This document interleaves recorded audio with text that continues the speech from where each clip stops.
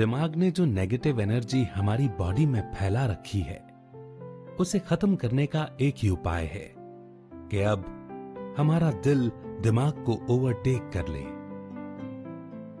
और ये होगा दिल के खुलने से, अर्थात हमारी दिव्य बुद्धि के जागृत होने से।